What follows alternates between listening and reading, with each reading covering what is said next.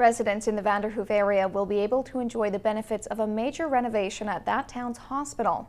Politicians and officials from Northern Health celebrated the completion of renovations at St. John Hospital this morning. The $5 million construction program was meant to improve the efficiency of the emergency department. Changes to the 43-year-old hospital include a new main entrance, improvements in the reception area, and new ventilation systems in the emergency department.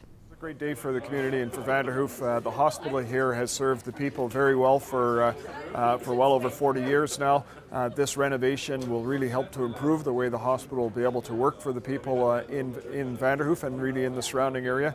So we're very pleased that we're able to commit the dollars to this and that we see the completion of this project. Essentially one entranceway where emergency and people visiting and patients coming in all met together and there was no privacy and uh, very little efficiency.